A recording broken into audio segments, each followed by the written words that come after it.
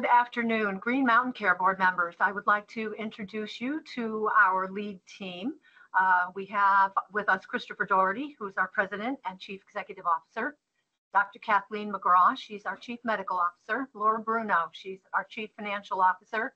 And Jackie Ethier, our Chief Nursing Officer. And they will be doing the presentation today, but I have a few words that I would just like to kick off the meeting with. And again, good afternoon. Uh, first off, I'd like to thank Chair Foster and board member Dr. Murman for taking the time to meet with our CEO and me prior to our community meeting presented by Dr. Hamre. It was educational for me that you shed light on the challenges facing not only all of our hospitals, but our state as well. Challenges we are all too familiar with. The time to take action hopefully has not slipped away, but this is not time for inaction. It is a time for improvement, for change, and transformation.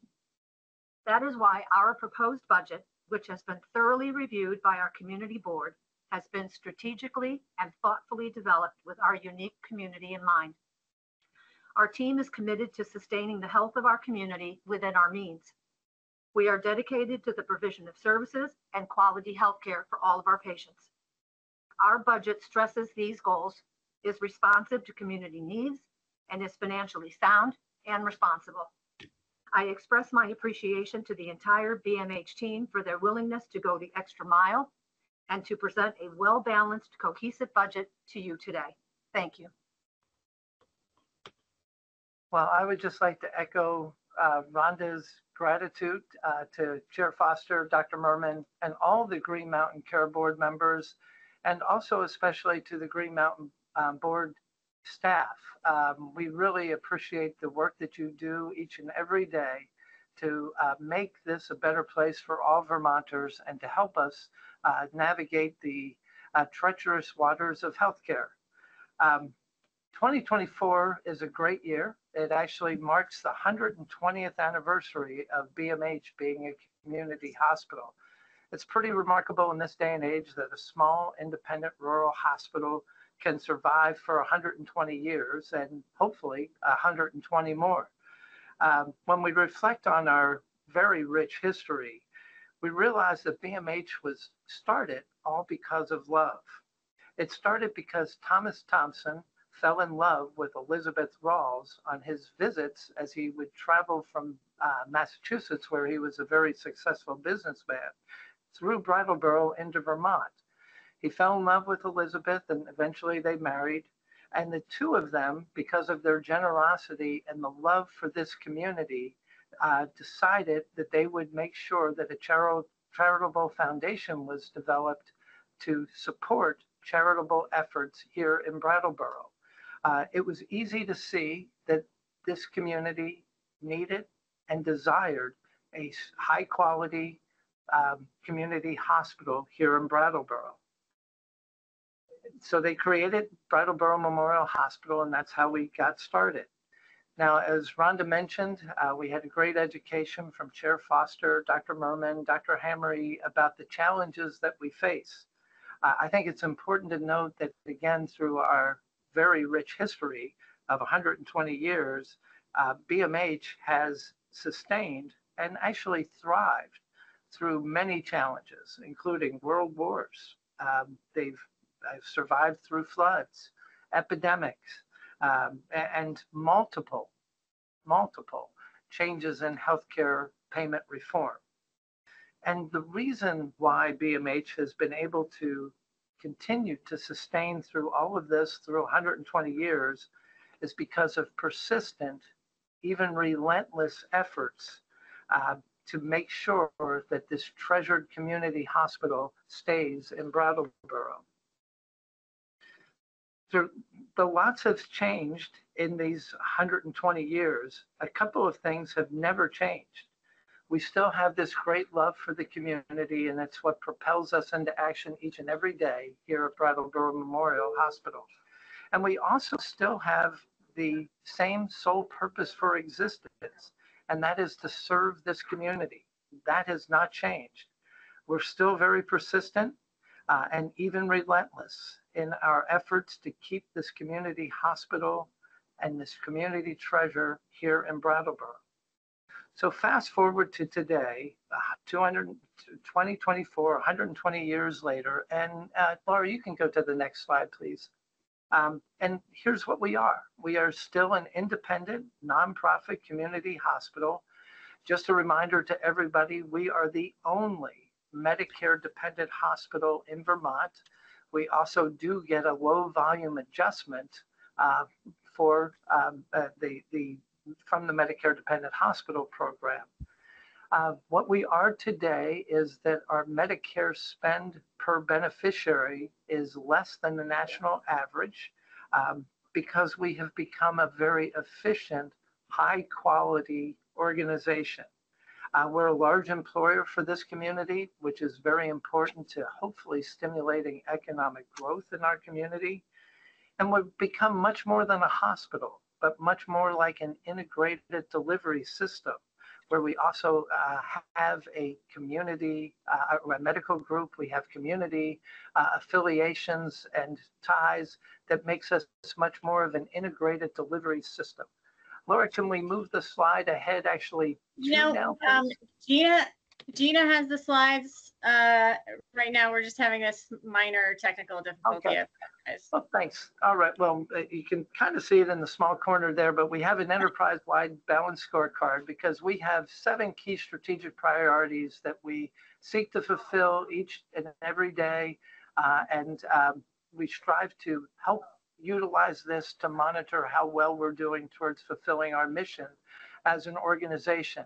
Um, we report this to our board uh, once a month, and these results fuel our continuous improvement uh, culture here at Brattleboro Memorial Hospital.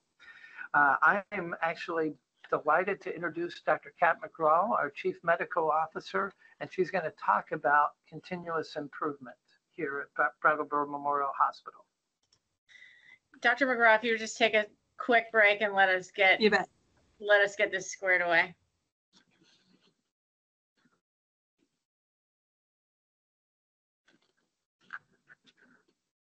Apologies for the technical difficulty. It's totally on my. Jump in anytime. You're sworn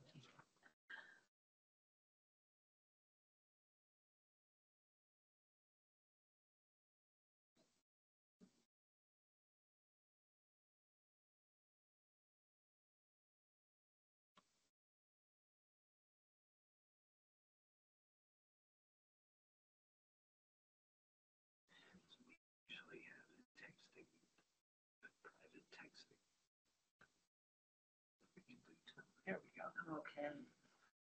You can go one more ahead to Dr. McGraw's There slide, you please, go. Dana. Thank you. Great. Perfect. Excellent. Thank you. All right. So we can do it, with- do it with slides. Um, so I'm going to talk a little bit about um, BMH's investment in um, quality and patient safety um, and our ongoing work on continuous improvement in that.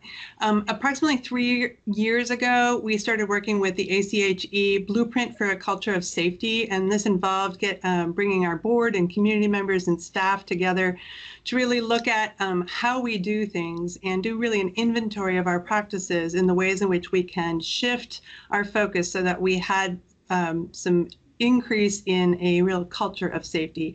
And that has been um, tremendous. And um, I think you can feel it here at the hospital in a way that's really um, encouraging and exciting. Um, uh, each the the number of quality improvement projects that are going on around the organization is just tremendous and uh, each fall we're holding a quality showcase where there are many many um, projects that are proudly displayed and uh, most of our leadership has been yellow belt um, certified for lean six sigma and there's just really a big shift here and the nice thing about that is that we're starting to see some outcomes for that um, uh, outside of our organization we are getting some recognition, which is nice. Um, the Leapfrog uh, uh, grading, which I'm sure you're familiar with, has uh, consistently been giving us a B grade on safety now. Our HCAHPS scores have continued to improve year over year, and we've uh, also uh, consistently been getting a four star rating for that. Our CMS stars are also four stars on quality, um, which is uh, a delight as well. Uh, recently, the Lown Institute, who I know you all are familiar with, or at least some of you are, because I've seen that come up in some of the previous um, uh, discussions, uh, recognized us uh, twice. Once um, we were uh, cited as the most socially responsible acute care hospital in Vermont. Um, and really, that's the social responsibility and the health equity um, are based on about 50 different metrics for which most of them we received A's and B scores. Um, so that is pretty exciting. Um, and also with respect to community benefit in April, we were noted um, to have the uh, best fair share score in um, Vermont and really a, a good one uh, relative to the rest of the country as well. And that particular um, score is uh, meant to measure our community investments and free care. Um, our work around quality of care delivery and patient safety um, is in line with the Lown Institute's goal of doing as much as possible for the patient and as little little as possible to the patient um, as we work to achieve health equity and eliminate healthcare disparities. Um, another, oops, next slide, please.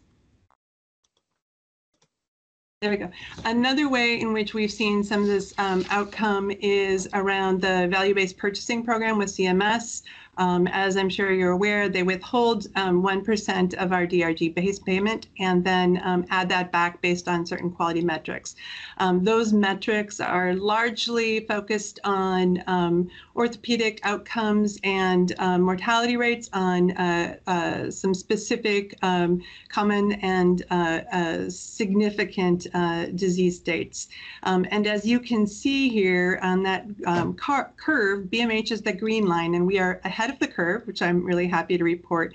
Um, and this means that they have um, given us uh, not just our 1% um, back again for the quality metrics, but also a little bit of a boost at that 0.16 added to it, um, really based on um, our quality care metrics. And I will just add that earlier this week, I heard that for this next year, we've had continued improvement and we will um, see our, our bonus be 1.38, um, which is even a little bit uh, better um, and reflective of the care that we've been delivering.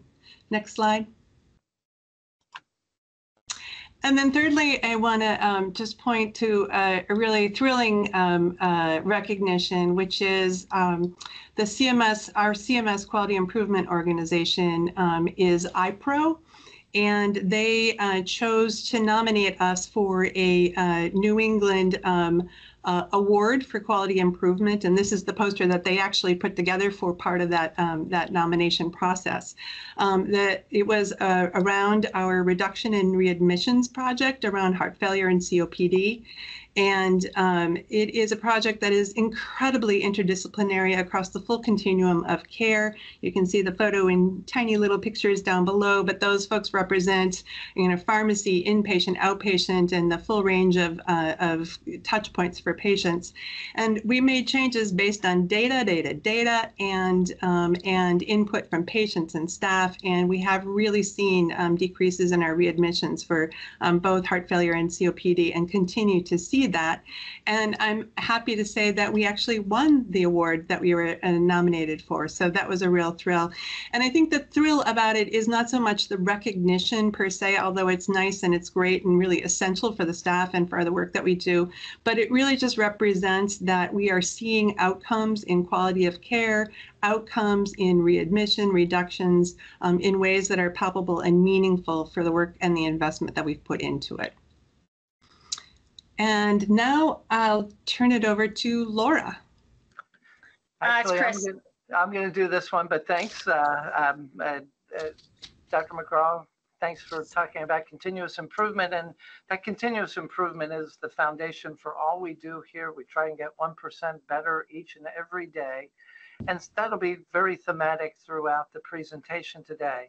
Just a few other things we'd like to highlight is that we are uh, still in the recovery mode from the uh, awful Change Healthcare cyber attack and the financial impacts it had. Uh, we use Change Healthcare, which is owned by United.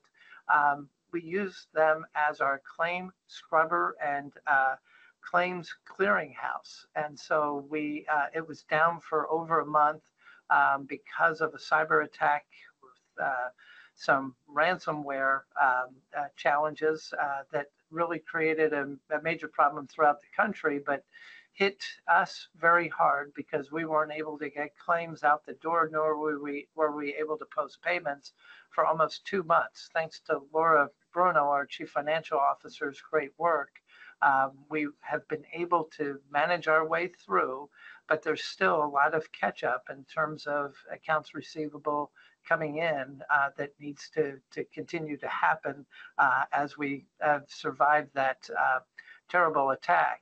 Um, we are looking at some targeted growth in very specific outpatient areas. And this was because, as Dr. Hammery pointed out so well, uh, Vermont is very much an aging uh, state. Uh, we happen to sit in the county that is the oldest county in the state of Vermont, Windham County, and we're seeing the impact of that on uh, the care that we deliver a lot more chronic illnesses, a lot more cardiology, a lot more cancer, a lot more podiatry. Uh, so we're trying to beef up some of those services and some of the growth that Laura will talk about when she submits, when she presents our budget, will be in these outpatient areas that we're looking to grow, and especially in our Medicare insured patient base.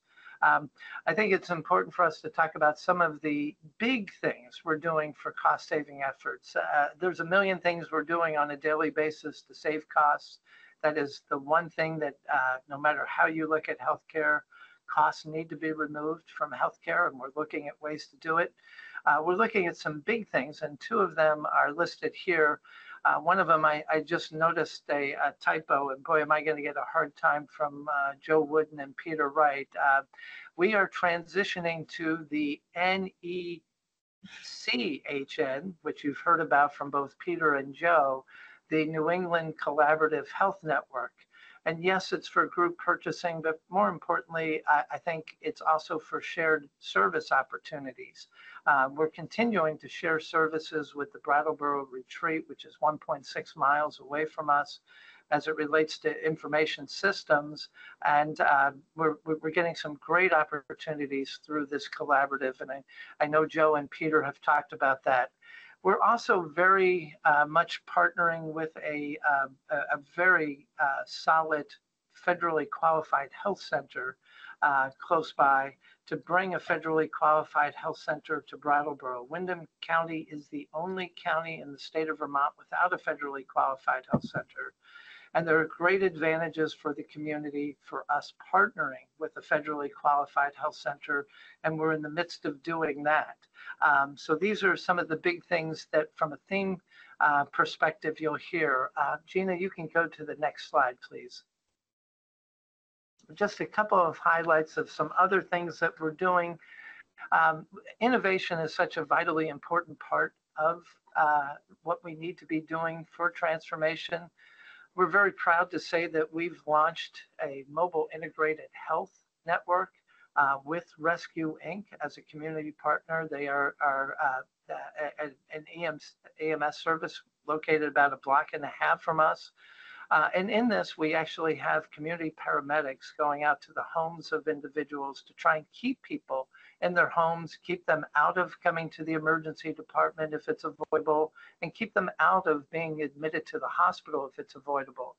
Now, we started with a very small, finite uh, subset, and that was really our joint replacement surgery patients, where the community paramedics go into the homes prior to surgery to make sure that it's safe for the patient to come back, uh, hopefully the same day that they have the surgery to their home.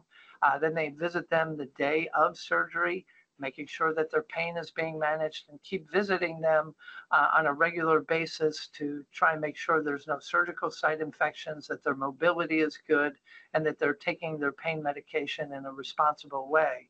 Uh, we've seen some great outcomes from that. And what we're really excited to do is to start really working on the areas where mobile integrated health can reduce healthcare costs substantially, and that's with the chronically ill. So we're starting with COPD and then we will migrate into CHF. We've, we've even talked to Blue Cross Blue Shield to see if there are certain pain points in terms of diagnosis that this might be something uh, that we can partner with them on to try and bring down costs for everyone. Um, we're experimenting uh, with artificial intelligence. We're very excited about how it may impact us uh, in terms of efficiency into the future.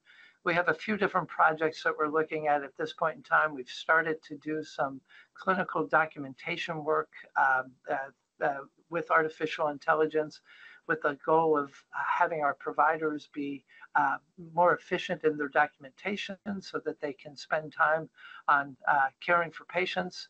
Uh, we've also started to explore and look at the potential of artificial intelligence in claims processing and actually working with denials management as well. And then finally, we're looking at implementing a digital front door where artificial intelligence would help us in managing inboxes for clinicians, uh, uh, messages that come in for clinicians, and making that process much more efficient than it's been. Dr. McGraw mentioned that we've been infusing Lean and Six Sigma into our uh, leadership team. I think all of our directors have been trained and are now yellow belts uh, for Lean Six Sigma, and that's becoming a, a big part of our culture here at BMH. Uh, I think you've probably heard an awful lot about the New England Collaborative Health Network. We're very excited about the potentials. I kind of think the potential is pretty much uh, only limited by imagination, and uh, um, there's a lot that can be done to reduce the cost of healthcare, not just in hospitals, but also with our community partners. And we're actively looking at community partners who we can bring into this collaborative. Uh, we're actively preparing for the AHEAD model, uh, and we've talked about partnering with a federally qualified health center, which will help us bring down costs because we will be able to share those costs over to the federally qualified health center, especially for primary care here. You can go to the next slide, and I believe now I'm going to introduce Laura Bruno, our Chief Financial Officer. Thank you, Chris. Okay, so I'm going to walk us through uh, our budget proposal for FY25. Um, starting off with just a look at the fiscal year-to-date May 2024 performance.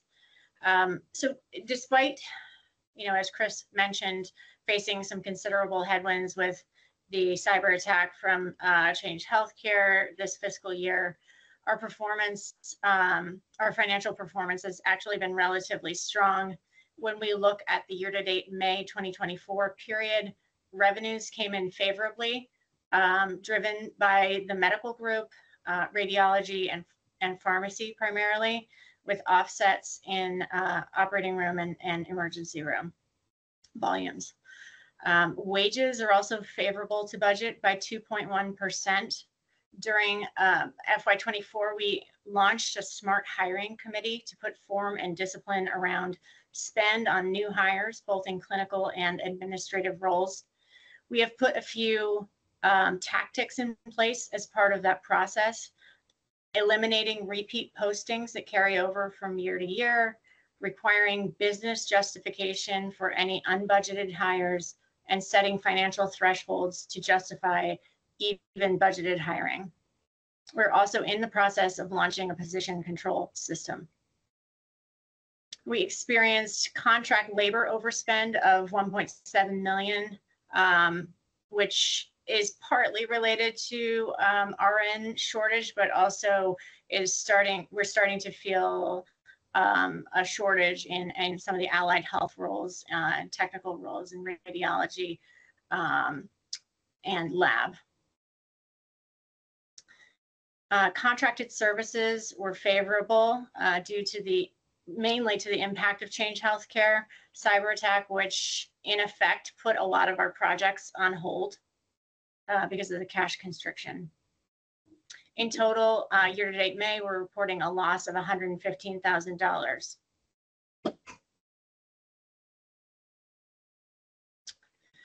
For our FY24 full year projection, uh, we're forecasting favorability on net operating revenue of 2.8 million or 2.4% versus budget. We expect to see wage favorability continue um, and approximate uh, 1.1 million or 2.2% versus budget due to the disciplines that I mentioned on the previous page. We will overspend on contract labor by about 2.5 million due to lack of availability, as I mentioned, of technical hires for radiology and lab roles. Um, we had strategically set the contract labor budget low in FY24. Contracted services are favorable due to spend avoidance in this year. Um, worth noting that healthcare provider tax will exceed budget by $650,000 this year. Uh, and for the full year, we're projecting a loss of $172,000.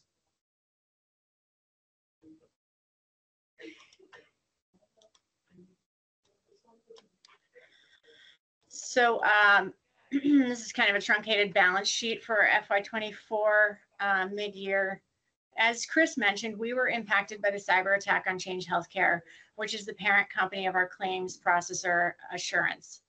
This nationwide event dramatically affected our balance sheet dynamics, including cash, AR, and AP.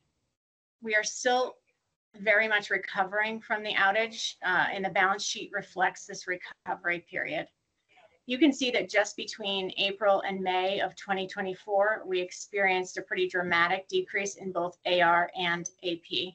We have been working hard to clear out the claims that were backlogged in our EHR as quickly as possible, thanks to a concerted effort from our revenue cycle team. Our AR levels are slowly declining as a result. The lack of cash flow during the outage made it nearly impossible for us to pay our vendors, and we fell behind on AP. We received short-term emergency funding from OneCare Vermont, Medicare, and Medicaid, which allowed us to sustain operations at that challenging time. BMH made commitments during the outage to continue to pay our employees and to sustain all patient care despite these financial challenges. And I'm proud to say that we adhered to those commitments. Our balance sheet fundamentals continue to be strong, and we are seeing working capital improve each month as we gain some distance from the cyber attack.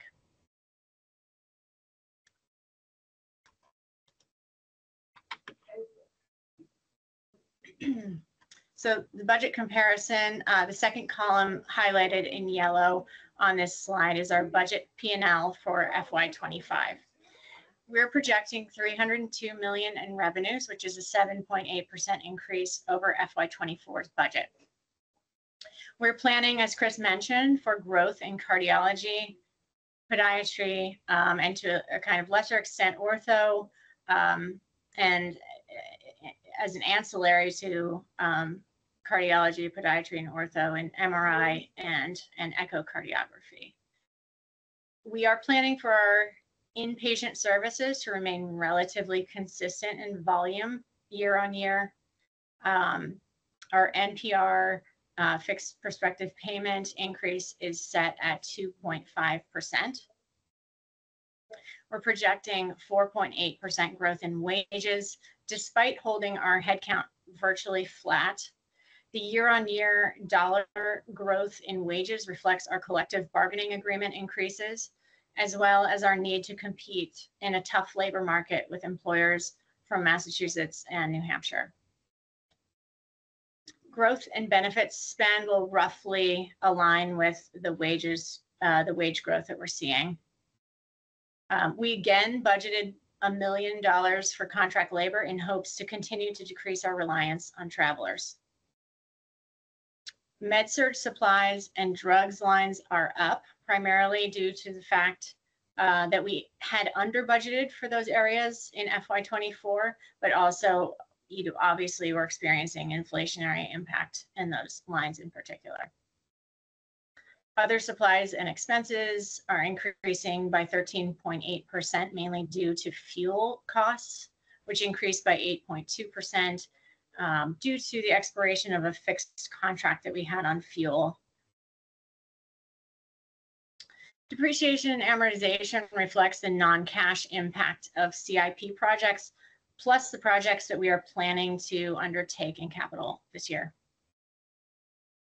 Our budget for the provider tax is up 10.5% or $600,000 versus last year. And overall, we are presenting a small positive margin of $551,000 or 0.46%. Chris, would you like to address the next slide? Thanks, Laura. Yes, uh, Laura's about to uh, go through uh, our rate request with you all, and I thought I'd just give a little bit of a backdrop before she does that. Uh, There's other challenges. Uh, Dr. Hamery did such a nice job, and the whole Oliver Wyman team, of pointing out all the challenges that we all face. Uh, There were some things that some are specific to us uh, from the federal government uh, uh, uh, perspective, as well as some things that we would love to work on with the state. So from the federal government perspective, we are a Medicare dependent hospital with a low volume adjustment and, and that accounts for about $3 million to our bottom line each year. Um, unfortunately, that's always at risk because that has to be approved by the federal government. It, it actually takes an act of Congress to keep the Medicare dependent hospital low volume adjustment program in place.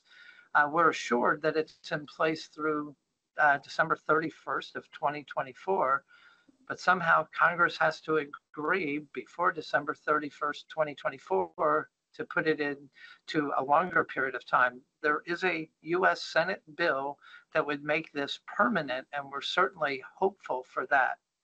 As a Medicare dependent hospital, I think it's important for you all to hear as you look at our rate requests that we do not get a increase from Medicare OPPS payments. Um, I believe we're the only hospital in the state of Vermont that does not benefit from any increase uh, in OPPS, and that is because of our Medicare dependent hospital status.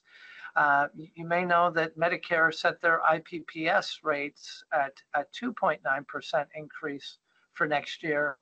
Uh, but they lowered the physician payment by, I believe, or are going to lower the physician payment by about 1.7%. I think from the state perspective, you know, uh, Laura's mentioned a couple times the provider tax and that it's about $6.7 million that we pay in provider tax. And we have no problem paying provider tax. I just would point out that that rate is at 6%, uh, which is the max allowed by the federal government. Uh, and in most states, it's an average of about 3 to 4%. In most states, um, there is a relationship between the disproportionate share payment and your provider tax. Uh, for us, we get about 10% of our provider tax back in disproportionate share. Uh, Laura, please correct me if I'm wrong, but next year, I believe uh, we're actually going to receive $40,000 less Less. in disproportionate share. even Correct, so that'll be less than, less than ten percent of our provider tax. even though our provider tax is going up over $500,000. In most states, the disproportionate share relationship to provider tax is closer to 50%. Actually, in neighboring uh, New Hampshire, I believe it's 71%. Um, so some things to hopefully consider in a collaborative way with the state as we look at things. I think the only other thing I'd like to point out is that, uh, you know, also factored into this, uh, our rate increase request is that um, we found out kind of in the middle of the budget process that uh, Medicaid is not going to offer any rate increase for fiscal year 25, which again creates a challenge for um, our expenses, inflation, everything are going up substantially. Um, we're doing everything we can to reduce costs, uh, but there's very little in terms of levers we can pull to increase revenue. And I'll turn it back over to Laura, I believe. Thank you. So uh, this slide is a review of our charge request. Um, Overall, on a blended basis, we're presenting a charge increase of 2.7%. This breaks out to 1.5% on professional fees and supplies and 3.2% on the hospital. Broken out by payer, we are reflecting the Medicare IPPS rate increase of 2.9%, a 0% increase from Medicaid, and a commercial rate request of 4.7%. Our NPR with fixed prospective payment will represent a 2, 2.5% increase over FY24. And we're planning for a small operating margin of $551,000. Uh,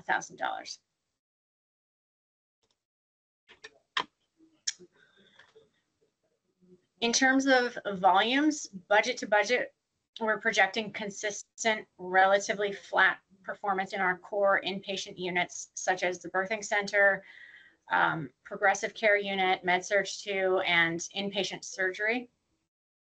We are planning for modest growth in a couple of areas to support our aging population, as I mentioned earlier, so cardiology, um, podiatry, imaging, um, and orthopedics.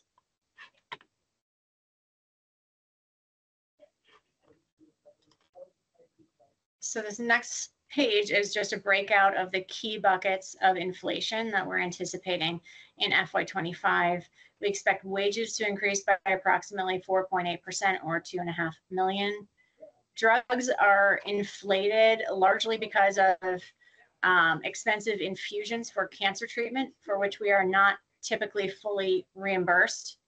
Um, additionally, as I mentioned earlier, we uh, I believe, under budgeted on this line for FY24. Healthcare provider tax is, uh, as as we've mentioned, is mandated at 6% of NPR. So as we grow, it, it increases. This year, it will increase by 10.5% or $600,000. Fuel, we uh, discussed on a previous slide. Uh, in total, we anticipate our inflationary impact to approximate $5.5 million.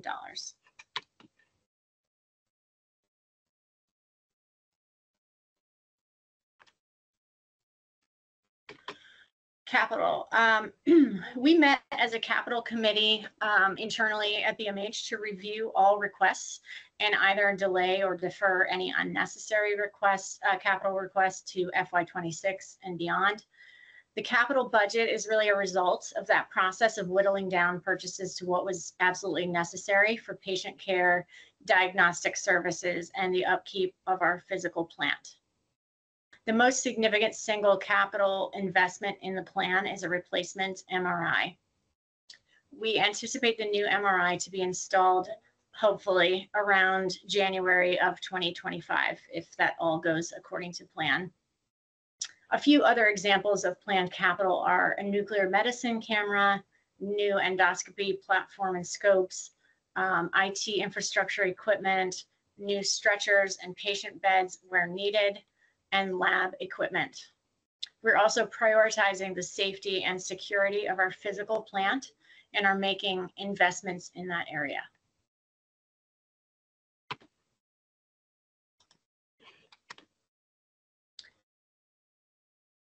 we're conducting an end-to-end revenue cycle engagement with BerryDunn, uh, which is a consulting partner of ours.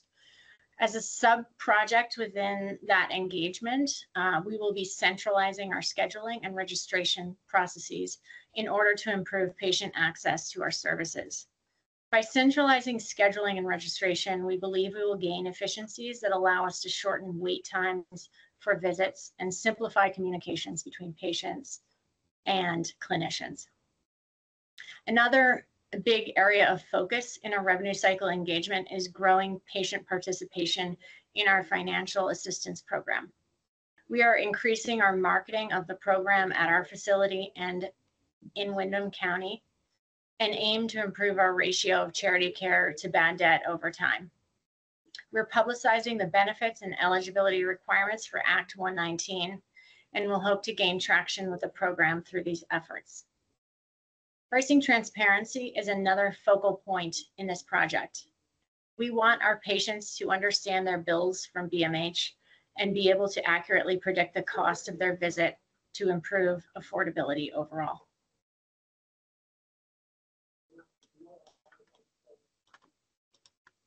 So the next two slides are risks and opportunities within the budget. So I'll just run through these quickly. Um, timing of the establishment of an FQHC in Windham County is unknown at this point, though we would like to see a conversion around the beginning of calendar 2025, but there is still a question around that. Um, we are facing an unpredictable labor market, specifically in technical roles in radiology uh, and lab, and we do see some challenges there. There is some Also, some degree of unknown around the amount of volume we'll see corresponding to bringing on additional providers in cardiology and podiatry. Um, Windham County's population is aging and faces a greater likelihood of chronic illness, which does present uh, a greater financial risk uh, to BMH. And generally, the growth of Medicare Advantage participation is a risk to BMH.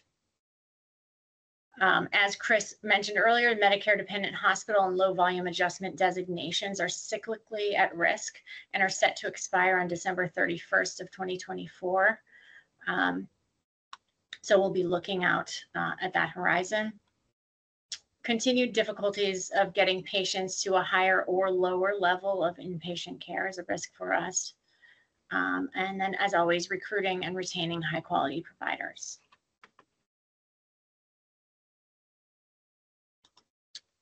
Um, as for opportunities, the FQHC is on both lists, risk and opportunity.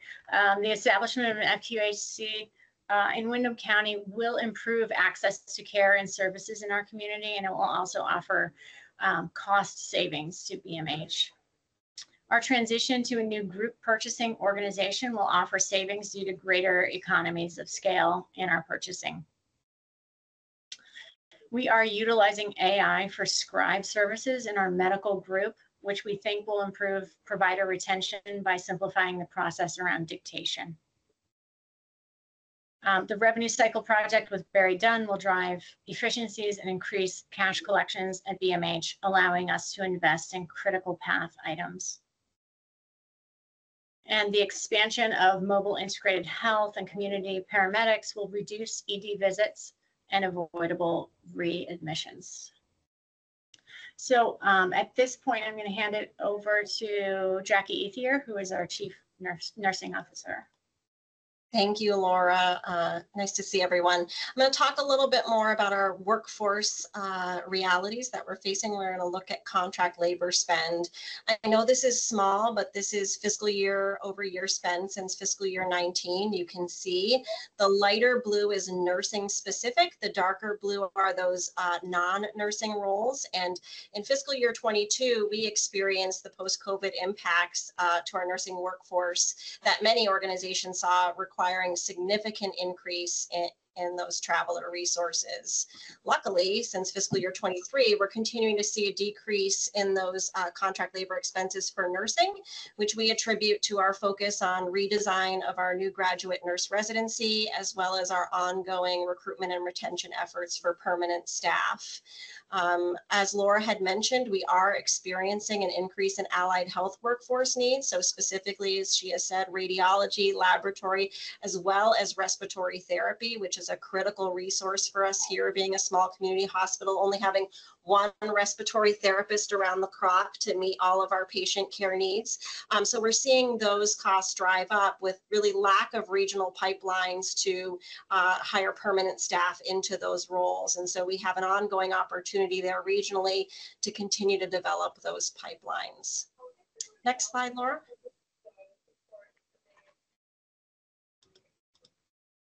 Thank you. So workforce challenges are opportunities. Um, as Chris also mentioned earlier, the Oliver Wyman report really exemplified for all of us the workforce realities that are facing us in Vermont. So the aging population is projected to continue with a corresponding decline in our force. So um, we're going to continue to have to face those challenges. As I already mentioned, the lack of pipelines, so that allied health lack of schooling and programs in our region is, is a reality we're facing right now, and we really need to lean into strategies uh, to address that moving forward. Um, it's important to know regarding our capacity that capacity is not just about physical space, um, that we must have the human and equipment resources to provide the complex care that we need, uh, which requires ongoing exploration and investment into the future. Um, as previously mentioned, too, we continue to struggle with uh, uh, regional and seasonal surges where we lack the ability to transfer either to a lower or higher level of care, which creates internal surge for us and challenges that we have to address um, on a routine basis. Next slide, Laura. So Workforce Solutions, um, compensation obviously always comes up and you can see what we've projected for future spend on compensation. We recently implemented a new structure, uh, really working towards consistency and equity for, for all of us. Um, we continue to uh, partner with all of these organizations across the tri-state area, really working to um, in addition to working with the Vermont Talent Pipeline Advisory Group, we uh, are collaborating and strategizing with all of these individuals into the future um, to really grow these resources as we move forward. It's important to note about culture that the evidence tells us that most employees leave roles primarily due to their immediate work environment. Therefore, we're, we're deeply committed to supporting and developing our culture with the strategies listed here. So I think I'm handing it back to Laura. Is that correct? That's correct. Yes. Um, thank you, Jackie. So to summarize our FY25 budget proposal, we are presenting a 2.5% increase in NPR, a blended charge increase of 2.7%, and a bottom line margin of 0.46%. We believe this is a responsible budget request. Um, and there are three key focal points as we look towards FY25. Rebuilding and strengthening our operations with an eye towards sustainability, putting community engagement at the forefront of all that we do, and becoming a population health focused system. Chris? Well, again, we want to thank you all for listening to our budget presentation. We're excited to entertain questions. Uh, Before we uh, end, we would also like to thank you for, again, the very important work that you do each and every day uh, for the state of Vermont. It's commendable, it's admirable, and it's very vital to the success of this state and the health of our um, uh, beloved communities. Uh, I think as we look this budget that we're presenting you today is the first year of our next 120 years. Uh, we hope that you'll approve this budget. Uh, we're happy to discuss it with you in full, but we also believe that what's going to help us sustain for the next 120 years is uh, a lot of what has helped us get to where we are today. And that's that everything will be done out of love for this community. Um, and to also complete our noble mission of serving this community. We believe that the, um, the attributes of persistence, innovation, and resilience are going to be vitally important uh, to our future. Uh, so just adding to what Voltaire has said uh, over 120 years ago, that no problem can withstand the assault of persistent thinking. We believe that's true, but far be it from me to add to Voltaire, but I would say not only persistent thinking, persistent collaboration, persistent innovation, and most of all, now is the time for persistent action. So we thank you, Chair Foster and team, and we're ready for questions whenever you're. Thank you very much. That was really helpful. Um, I'll turn to Board Member Walsh for any questions he, he may have, and then the others.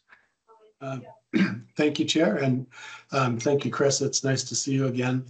Um, I wanted to start off by just uh, commending you and your the organization for your Leapfrog, HCAHPS, and Lown Institute recognition. I know um, you started in your role about the time that I joined this board, um, and it's I believe in the hard work that you're putting into things. Um, you also described in your narrative some efforts to address the free care to bad debt ratio and the consulting group that you're you're working with. I was wondering if you could say more about how the consultants are helping in that area. Yes. Um, so we're looking at putting more resources towards uh, benefits advocate, so kind of a financial counselor role. We have uh, one person doing that role, but I think we need to not only market um, the program more and sort of flyer within our community and within our practices, um, but we also need to, you know, put more um, FTE type resources um, against that against that position so that we can um, you know meet our patients where they are and provide the education they need on the program and what benefits are available to them. If I might just add to that, Laura, also part of our implementation of a digital front door, which is really a patient portal on steroids, will make that much easier for people to fill out those type of applications, get that information. Um, those that have um, access to um, this digital front door. So uh, trying to do that on multiple fronts because part of our challenge has also been getting people in to actually fill out these applications. So trying to meet them where they are uh, as well is important for us. Yeah, that makes sense. Um, that's that's all good to hear. It's a topic that I want to come back to. Um, just want to I want to make sure um, that I have this right. You're requesting a 4.7 percent commercial charge increase, and the the 2.7 was the blended. If I'm got that That's correct, That's and correct. the and the NPR growth of 2.5. Um, yes. in the in the narrative that you submitted, you noted that you'd planned a three point four um, commercial charge increase, but then the received notice that there was no increase from Vermont Medicaid this year, and that necessitated the change. Um, is the have you received word from New Hampshire, Massachusetts, New York about their Medicaid rates for the upcoming year? I have not, uh, Chris, I don't know if you've heard anything from them. Um, I have not. Dr. Walsh, that's a very good question. I have not. And I think it's something to explore. And I think that uh, is an important point uh, because we do get some patients from Medicaid, uh, from New Hampshire and Massachusetts that are Medicaid. It's small. The, the reason for the bump uh, in Vermont is that's about 20% of our patient population. And again, the 60% is Medicare. Uh, so that was what threw us for a loop. It, it would have been nice if they had given that information to the Green Mountain Care Board as part of the budget guidance preparation. That I think would have helped us because we were headed down a path that we sort of got a curveball towards the end, sorry to say. But uh, it's a great suggestion. We'll look into both uh, New Hampshire and Massachusetts. Yeah, I think um, it, it, I started thinking about it because it, again, in the narrative, you had mentioned that um, because of your, where you're located and serving Vermont, New Hampshire, Massachusetts, New York, that the commercial charge increase you were, were requesting wouldn't have much of an impact on Vermont ratepayers.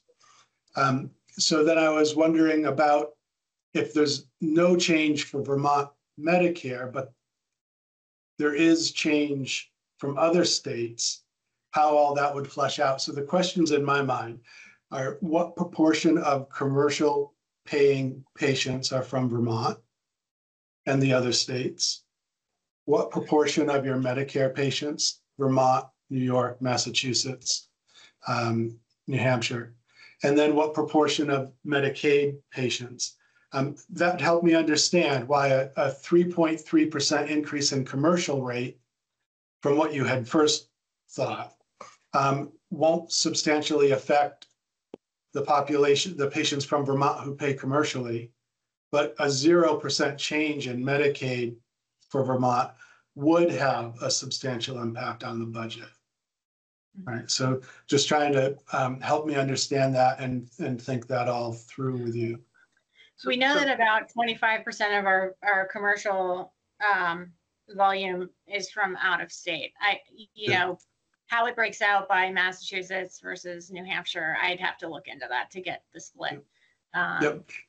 I saw, I saw that in the, in the narrative, Laura, that seventy-five percent commercial from um, within state. So that type of information um, So Would and- and help- Dr. Walsh, it'd help me we- we- understand.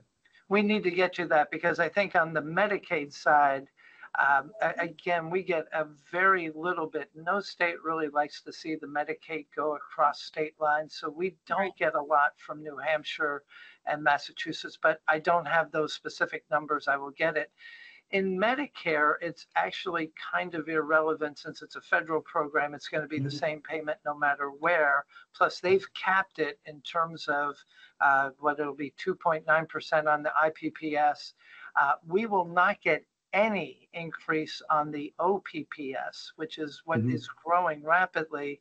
And after Laura had started the budget again, Medicare did the same thing. CMS just maybe two weeks ago passed that they're going to lower the physician payment Mhm. by 1.7%, which also factored into that. But we can break that down for you. They're, they're great questions, Dr. Walsh, and we, we can break that down. Okay. Um, I want to, I want to switch next to um, a topic that you saw um, with Bruce when he was, when he was there, the RAND 5.0 data. Um, When we look at that, we can compare relative price uh, for your facility to a break-even price that the RAND Corporation calculates. Your total facility price, um, as they uh, calculated, is 320% of Medicare. And the break-even price is 204. So that gap is 116 points. That gap is considered an assessment of efficiency and productivity. Um, the total facility percentage of 320 is the third highest in the state. And the gap to the break even is also one of the highest. And so I, I know you're very committed to your community, but I'm, I'm wondering how um, your community can afford prices that relative to Medicare are the third highest in the state.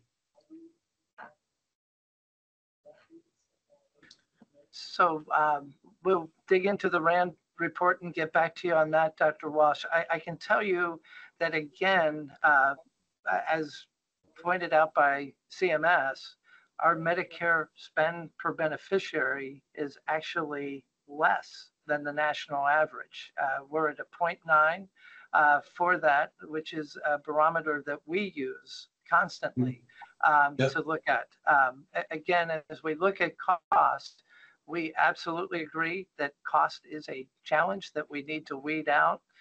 While we're doing lots of little things, we're also looking at lots of big things. Please also note that in that cost are things like the provider tax increases, um, uh, hit that. Uh, that is very abnormal for um, a, state to have such a high, um, uh, again, provider tax rate. Uh, I think that that's important to note. Um, we are a Medicare dependent hospital, which also means that really the only, the majority of our payments do come from Medicare. So it is really where we actually do have the biggest opportunity to, um, to create a sustainable future for us.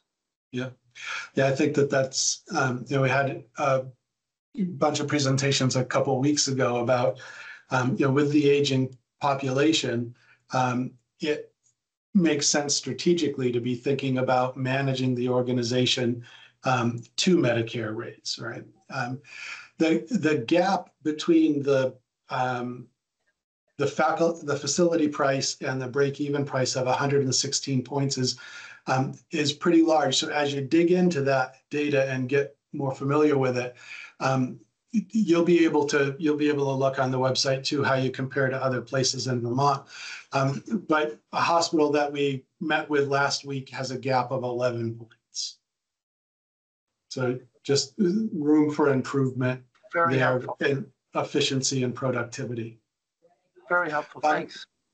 Sure, yeah, I- and I appreciate the, the back and forth with, with this, Chris, the, the dialogue and your openness. Um, I want to take a look at the, at your balance sheet for a moment. Um, your total assets were stable relatively from 2020 to 25. It was 101 million in 2020, 103 million in 2025. Um, long-term debt increased from 7.3 million to 14.8 in the same time, with the largest jump occurring in 2022. I just, I'd like to better understand that growth in long-term debt, if you, if you Yes. could. Um, we had a bond issuance that we used to build the Ron Read Pavilion, um, at, at BMH. Uh, so that's the, that's the reason. Uh, Okay, it was twelve and a half million. Right. I, apo- Um, I'm so, s- I apologize for interrupting. I didn't, what was that number? If I can hear it again? Twelve and a half million. Thank you. Um, during that same, you know, twenty twenty to twenty twenty-five, if we look at the profit and loss, the the, the variance between the budgeted to actual bad debt amounts notably increased, right? In twenty twenty, bad debt budget was three point five, and the actual came in at two point one. And then in twenty twenty-one, it was budgeted at three point four, came in at two point eight. 2022, 3.6, but came in at 4.8. Mhm. 2023, 3.9, came in at 5.3. 2024, 4.6 to a projected six. So the, Yeah. the, the variance between what's in your budget and then what is actually happening um, has grown considerably. Yes, that's Um, exactly. So this is what I was referring to with the the ratio of charity care to bad debt that we're working on improving. This is a project that will take us some time, uh, but what we would like to see is a shift over time so that our free care and our bad debt, I'd like free care to be exceeding bad debt.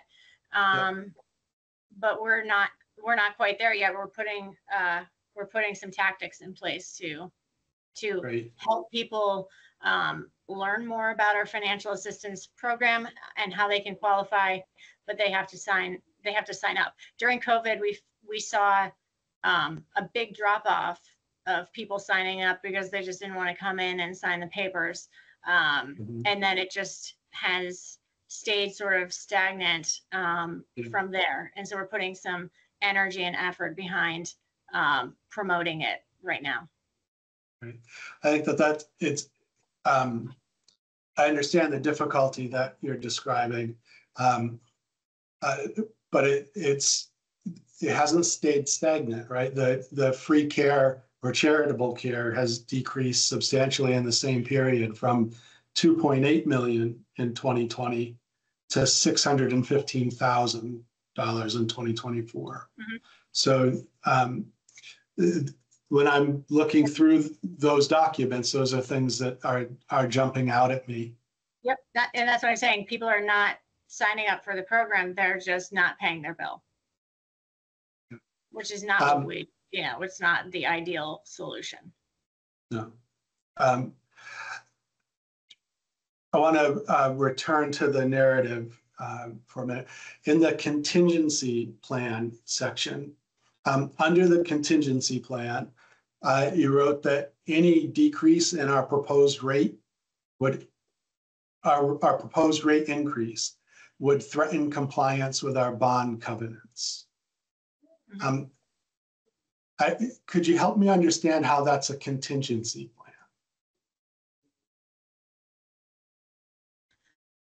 Uh, What I was saying is that we are um, beholden to the bondholders in the bank that, we- where we have our bond issuance. And we report to them on a biannual basis on a 12-month rolling uh, performance on our debt service coverage, um, our days cash on hand, and, um, and other me- metrics. And specifically, the debt service coverage would be impacted if our rate increase um, were compromised because it would lower our revenue and um, threaten the bottom line. So I, um, I understand what would happen, right? Is it's, I don't have a personal bond co- covenant, but I have a mortgage and if I miss a payment or I make a partial payment, I'd no longer be in compliance and my ability to like, finance repairs for my fifteen-year-old Jeep would be compromised and then I could, um, end up bankrupt or home could be repossessed or even the Jeep, right, which would not be good. Um, so I, I understand the what what's happening, but I the contingency plan section, what we're looking for there is if we didn't grant the increase, how would you manage? Or you're asking if we would stop services or um, Some, that's what some, operational. that's what some, that's what some facilities write in there. Um, there are other options, but, um, that is the, we're looking for is what would happen? Um, how would you deal with that scenario? Um, so let, let me just kind of, just one more question. Let me just flip it around. Um, if we approved the commercial charge increase and the NPR increase, um, those, the commercial charge increases above guidance. And so how that would be utilized to address the community needs that you've identified and the community benefits um, that you're providing, that type of information would also be useful. Right, to, to, to see what are your priorities, what are your objectives, what are your key performance indicators to know that the overage that you're requesting is being used to meet community need and provide community benefit. Fantastic. And, uh, and I'll uh, address that, Dr. Walsh. So uh, again, the budget is for a margin of $551,000. So uh, every dime of that gets reinvested back into what we do for the community. Um, One of the problems with having such small margins, which also goes back to the need for having margins, is you cannot invest in the future with no margin, um, bond covenant or not. Uh, So artificial intelligence needs to be rampant in healthcare. Uh, It's impossible to invest in that without any margin. Um, There's operational costs as well as capital costs that may be needed for that. Um, So we need a small margin to actually prepare for the future, or we will not be here for another 120 years because the further we get behind, uh, the harder it is ever going to be to, to get uh, to a sustainable future. So we look at all of this, uh, a minimal margin as a chance to invest in our people so that we can retain them and also to invest in technology so that we can start to prepare for the future um, so that we will have the workforce of the future that's needed to provide the services we need. But we'd be happy to list out our key strategic priorities as well as those service lines that we uh, seek to continue because of community needs based on our community needs assessment. I appreciate the, the thoughtful response and I just, I want to end before I, I send it back to Chair Foster, just, um, I really, I, I listened and heard the, and recognized the recognition you're receiving from Leapfrog and Lown. Um, congratulations on those. And I think that focus on community and quality and reliability and safety um, is spot on. And um, please keep going. And I hope the questions um, help you look under the hood some more. That's what we're, the I say taxpayers they are were- paying us to do. May I say they were great questions, so we really appreciate it, Dr. Walsh. Thank you. Thank you. I think I'll uh, go ahead and jump in with a couple questions. Uh, Mine are, are mostly clarifying and uh, Tom's already asked some of them, so I should be relatively quick. Um, I just wanted to make sure that I was understanding sort of the differences between the projections um, and calculations that you provided on slide 12 with the uh, balance sheet or the, sorry, the, the revenue and expense statement that you submitted because they don't quite match. And I think it's because things are bucketed differently. So um, I just want to confirm that in, on your slide 12, you've included fixed payments in the other operating expense revenue. Is that right? That's correct. Okay, all right, that, the numbers still don't hundred percent line up, but they're, uh, that I think is the big variance. So thank you, that's super helpful. It's it's because, it's because it's an- a run rate, it's an annualized version of. it. Okay, May. Yeah. Got it. All right, thank you. Um, and thank you for following up on the additional detail related to the commercial rate in terms of um, if you had said, for example, a seventy-five percent of your commercial volume came from out of state, I could understand why that the four point seven wouldn't have a big impact on Vermonters, but twenty-five percent, while large, uh, still seems like seventy-five percent would impact Vermonters. So I think having more background on that would be super helpful. Um, in terms of your partnership with the other hospitals in the collaborative, um, are you expecting savings at some point from that initiative? And if so, did you book any of those in 25 or when would you expect to see that? Uh, Great question. I'll start with that, Laura. So I guess the first answer, Robin, is we better see savings from that collaborative. And yes, we do expect it. So right out of the gate, there's membership savings, uh, substantial, close to $100,000 a year in membership savings. Um, What is really planned is that there's substantial savings from a new group purchasing organization and arrangement as well.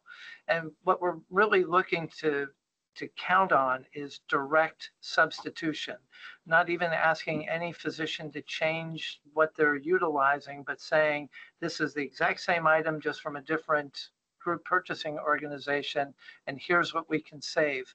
Um, we did not budget that for fiscal year 25 because we actually just joined in the collaborative officially, I think in July.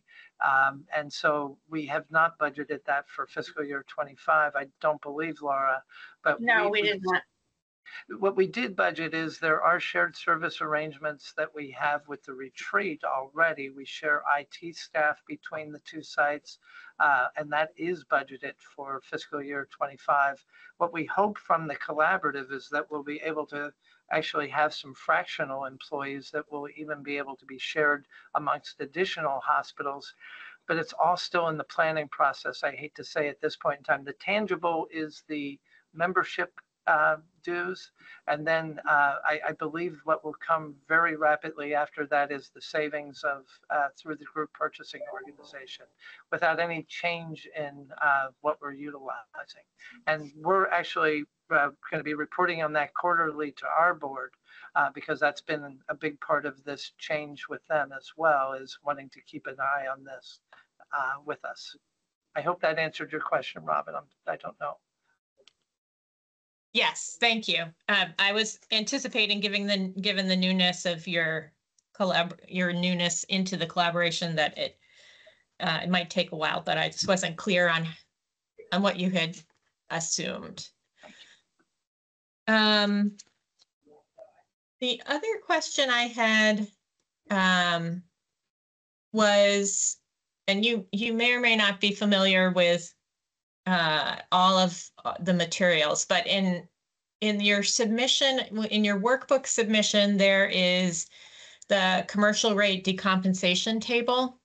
And I was a little bit confused about the numbers in in that table don't seem to tie out to the balance sheet, which they do for other hospitals. So, uh, and for example, it seems to indicate that the rate impact of the commercial rate increase is negative, which isn't really jiving with what your narrative says.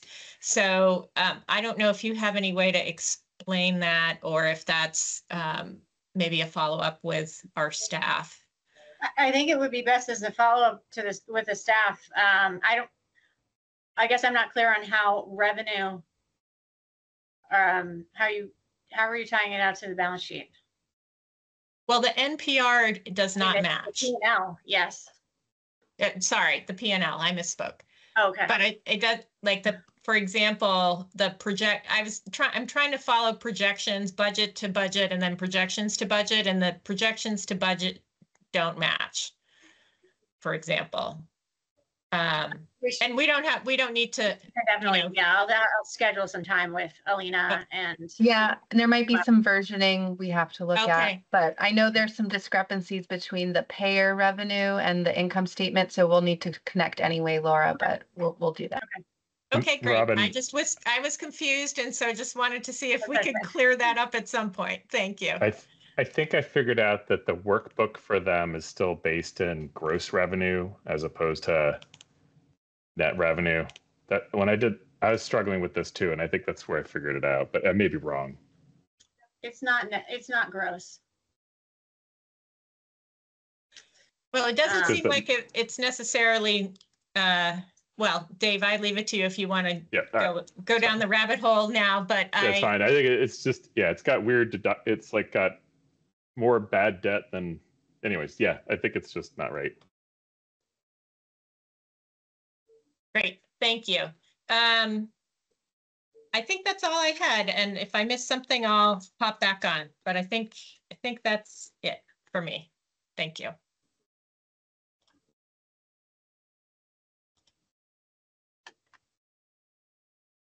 I mean, I just, I mean, I was looking at this and I, that's what I tried to figure out, but I'd love to have a cleaned up workbook that we can use. Um, Yeah, we can do that. that, that makes more sense, but I'll just continue. I just had um, one more question, which was regarding the Windham Birthing Center. Is that the OB center within the hospital or is this a freestanding birthing center? Windham Birthing Center. Uh, Um, sorry, We, have a- we have a birthing center in the hospital. uh, and I think, We have a Four Seasons um, OBGYN practice. okay, There are no freestanding birthing centers around us. Yes. No. okay. All right, thank you. That's, You bet. that's the only question that I thought I picked up on the, maybe I misread the the Uh, there submission, might but I have thought I something saw about something in there. Windham Aging, working with Windham Aging or anything, maybe that, Dr. Murman? Don't know if that jumped out or is that? I don't think that Could was. be my there. bad in my, in my notes, so, but thank you. you.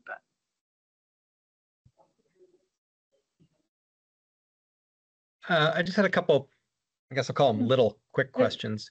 Oh, Go ahead. Um, oh, sorry, Jess. Um, on the um, narrative, you described um, $106,000 to the lobbyist group VAHHS. Um, is that fairly steady every year, and what is that based on?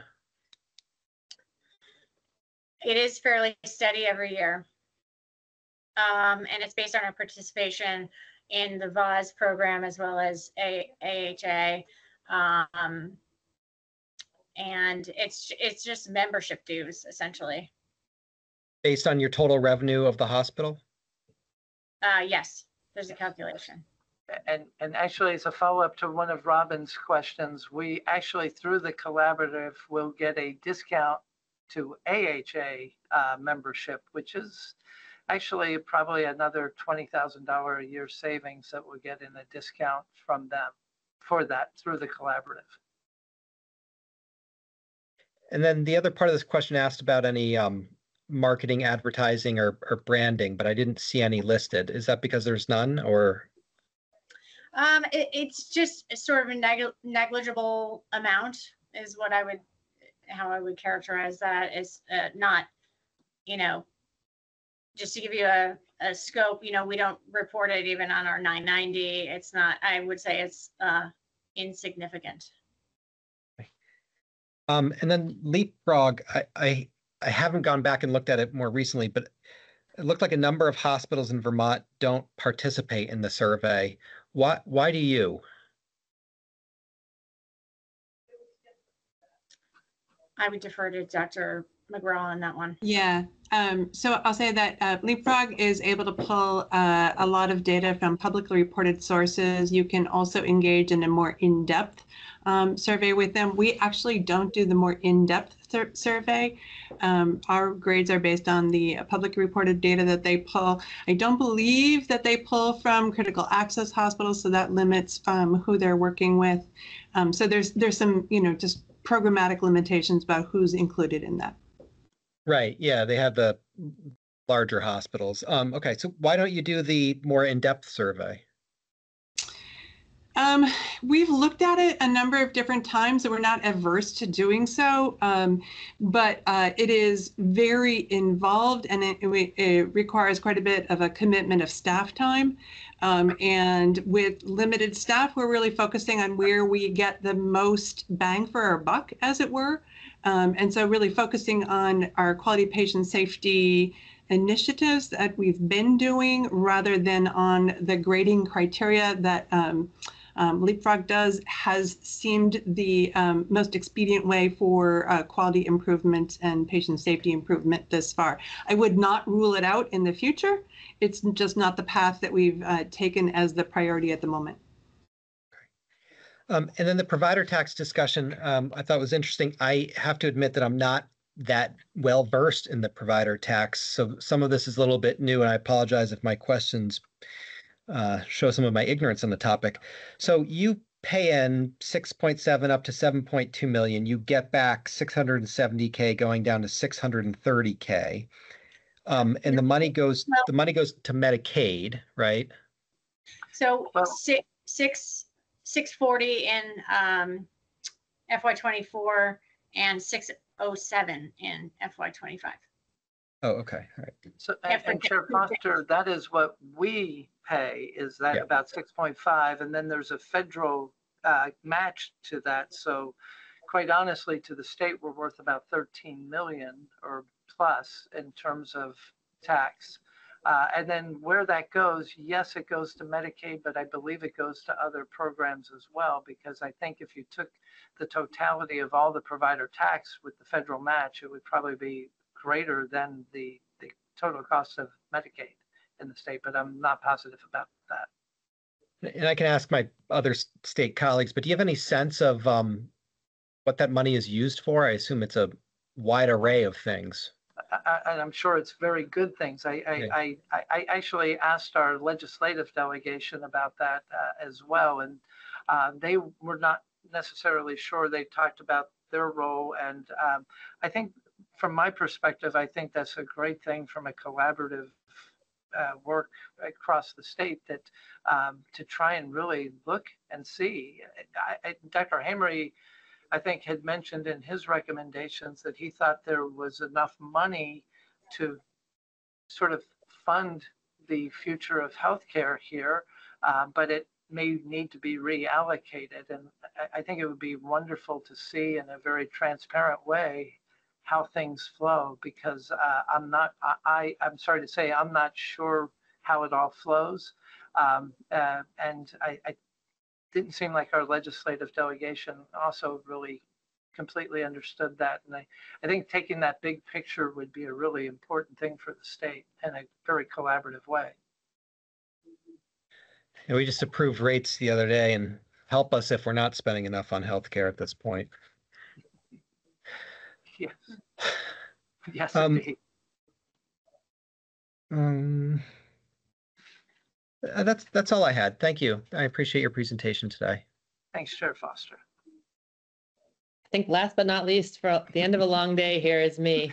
Um, thank you for the presentation. Thank you for all the hard work you're doing. Um, on the quality front, there's some impressive uh, accolades coming your way, deserved.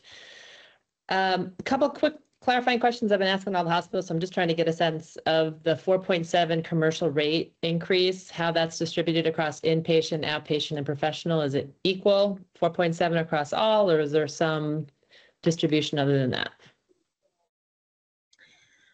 Um, well, it's mainly, there's a difference between professional and facility. Um, obviously, uh, but it's pretty much across the board on the facility. Okay. Um, and is there, do you have an assumption uh, in the budget for what the Medicare Advantage rate increase would be?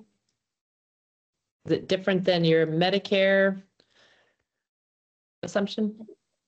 No, Okay, so it's, the assumption is 2.9? Similar Yes. to your IPPS? Okay. Um, in the, the narrative, uh, there was a question about investment income. Um, and the response was, we're not able to bud, to project investment income at this time. Does that assume that you've budgeted zero for investment income? we don't budget for investment income. Okay. And what investment income was earned in twenty-three and projected for twenty-four? We, we don't, we didn't project for 24. Um, might have to go and look at twenty-three. 23, okay. That would be helpful. And you have, is there anything about actuals today, for example, of any earns or gains or losses on investment would be helpful to just understand for 24 to date? Just Yeah, trying to it get a falls sense of, I mean, it Yeah. falls into our non-operating section of our P and L, uh, which is, you know, below the line. So we, you know, we typically wouldn't be reporting it. okay, well, anything that you can provide on past investment performance would be helpful to understand. Um, there, there was a large, uh, projected three forty B revenue for this year, about, if I'm looking at this, and if this is the most up-to-date version, it's about four point seven million um, on three forty B, which seems higher than, um, certainly the budget and higher than what your for 24's budget and higher than what you're projecting for 25, which is only 1.7. I'm wondering if you could just speak to that um, Where- bump up this year. I'm on the, I'm on the P and L. So I'm looking at the P and L and I'm looking at the line for 340B. And I see 4.7 uh, million projected for 24. And then I see it go down to 1.7 for 25. And it was 1.6 and, uh, sorry, it was, The P and L, where, which, where do you have, that I submitted in Um, the, in the adaptive? I'm in the workbook that I have. I can only tell you I have the workbook that was submitted. Um, I- I think we should just maybe, again, meet Okay. offline so that I can review it with you, because that's not correct. It shouldn't be anything more than, it, it was Okay. flat year on year. Okay. So there may be just a, you know, a- a error, user error or something. okay, that's fine. It just seemed like it went up really high and I, and coming down, and I just was wondering if there was some windfall that you were No- getting this no year that was windfall. fantastic. Okay. Um, and I, I guess my, my last question is, um, you know, you described the need to recruit providers in podiatry and in cardiology to meet community need. Understandable, given the aging of the population. Um, I'm wondering though, if you could speak to the strategic decision to addi- hire additional, you know, podiatrists, two additional podiatrists, two additional cardiologists, rather than increase the productivity of the existing providers. Looking at the work RVUs per clinical FTE, they're below, well below the 25th percentile for uh, productivity. So I, I'm just wondering if you could speak to the need to hire additional providers rather than increasing productivity. So I, actually, um, the worked RVUs that we have for these individuals at this point in time, uh, the podiatrist that we've monitored is actually a very new podiatrist. So he's in the ramp up phase. His productivity is actually now to a point where he's actually getting incentives. Uh, so he's starting to get to the 75th percentile uh, of his worked RVUs. The cardiologist was a transition. That had been somebody who had been working at Cheshire and has come over to us. Um, and uh, he is actually now uh, becoming incredibly swamped. Uh, that's a hard hire, the cardiologist. We have hired a second podiatrist. Uh, starts in September, a few weeks. But the cardiologist is is is is a need. Our cardiologist is ultimately going to retire at some point in time as well. So we need to to be making sure we have somebody in place. We used to get 1.2 FTEs from Cheshire uh, in Keene, uh, and so we've also believe that with the growth in our community, we're ultimately going to need to be have 2.0, but it's going to take a while to recruit another cardiologist to this community as well. So it's in the budget for the hope of getting the recruitment done, um, but the volume increases that Laura has uh, budgeted are actually really within the cardiology program as it is today. Okay, so maybe, I mean, this, I'm just looking at the clinical productivity submission. It looks like the year of the data was 23. Um, you know, so uh, if there's updated clinical productivity data that suggests higher, you know, relative to benchmarks, that would be really helpful for us to see. Fantastic. Thanks. We can do Thank that. you. Yes. Thanks. Um, I think that is all I have. Great, thank you. Um, I'll turn to the healthcare advocate. Good afternoon. Um, thank you. I'll, I'll be brief because I know it's been a long day. Um, I just wanted to ask a clarification about on your uh, income statement. It looks like you're budgeting zero dollars for ACO dues in 25 and zero dollars for insurance and zero dollars for marketing, which I know Ms. Bruno you talked about. Just wondering if you could elaborate on those decisions a little bit more. Again, we're, I, I don't know where you're seeing that. We're not budgeting zero dollars for ACO dues. Okay. Well, I'm glad I clarified it. Okay, we can touch base on that another time. Um, my other question was on, refers to your audited financials, and you talked a little bit about the long-term debt and the uh, bonds that you have. It looks like a couple of them are variable interest, and you have these interest swap agreements. And I'm I'm assuming that if you could have pursued fixed rate, you would have done that. But I'm just wondering if you've considered, you know, refinancing those in any way, or if that's not possible. Um, it wouldn't be possible at this point. Uh, we have spent the entirety of the 2019 bonds. We have a small amount remaining on the 2016, uh, which we are planning on spending on the, the MRI replacement. And um, so there's no real option to refinance or anything like that. Okay, that's what I figured. I just figured I would I would check. Um, and then my last question was, uh, in general, we've heard more about AI from you guys than any other um, hospital so far, at least in my view. Um, and I, I've- I've read some research that suggests that it'll reduce spending in healthcare by five to ten percent. I, and I think we've seen similar estimates with EMR. So I'm wondering why you think AI will be different than EMR in terms of cost savings. Well, I, I, I, I'll, I'll start that. Dr. McGraw, you might want to chime in. Um, so I, I think there's actually a, a very profound uh, projection for the future that, um, you know, everybody's worried that AI is going to mean people are going to lose jobs. What you hear is whoever doesn't embrace AI is and, and is in a leadership role, they're going to lose their jobs because AI is going to actually have a profound impact. Healthcare always lags behind, um, but I believe, for what it's worth, that AI is different than EMR because the AI technology is really universal, whereas an EMR is only relevant to healthcare. Um, so uh, AI in other industries. So I mean, I, I, I don't know if anybody from the insurance industry is on, but they're using bots to actually manage their claim processing already. Um, people are far ahead of hospitals and healthcare in the use of AI.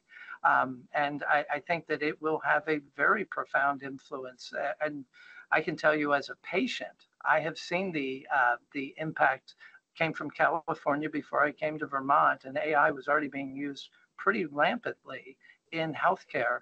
And I saw the benefits as a patient ease of access, ease of connecting uh, with providers, ease of being able to communicate, uh, ease of paying bills, a whole host of different things that was foundationally driven by uh, artificial intelligence built into digital front doors and other things. This, this technology has a much more universal um, uh, ramification than an EMR does. So that's my opinion, Sam, but I'll turn it to Dr. McGraw, who knows a lot more than I do. So one thing I, I, I think is a good example of the impact it's going to have is our AI scribes.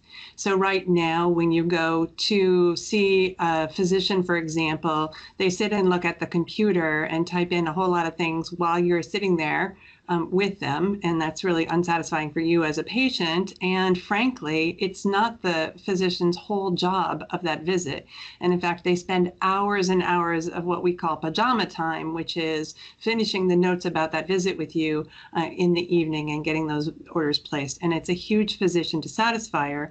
Um, and in part, it required by our EMR and all of the boxes that need to be clicked and checked and, and ticked and tied.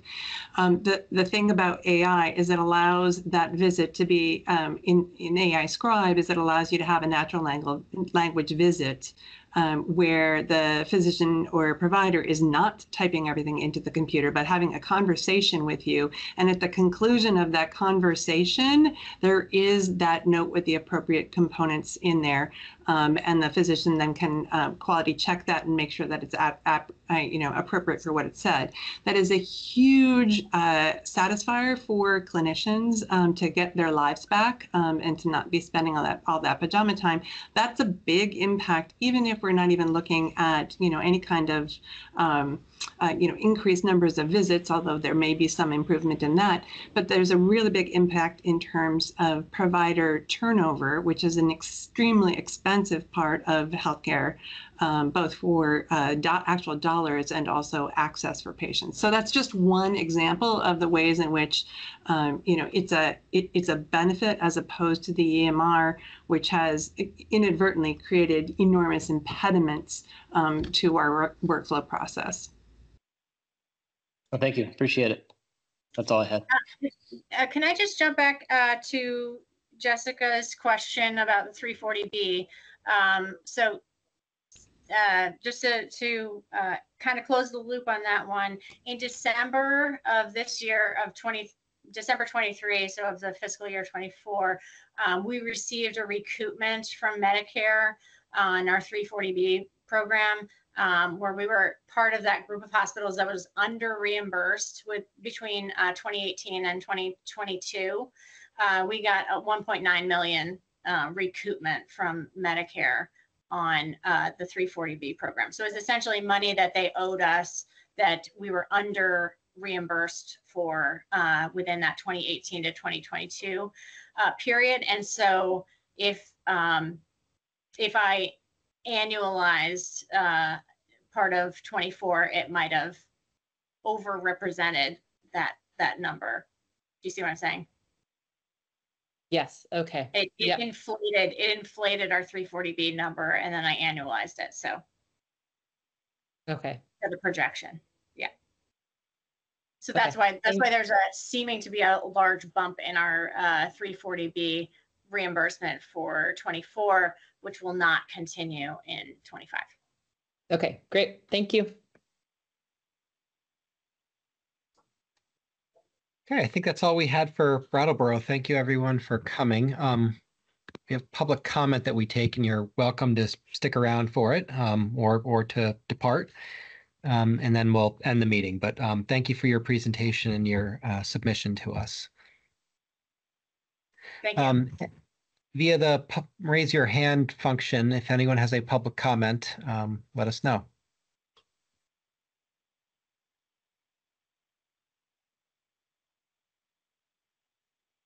All right, I'll have a quick trigger today because it has been a long day and I see none. Um, so thank you everyone for attending.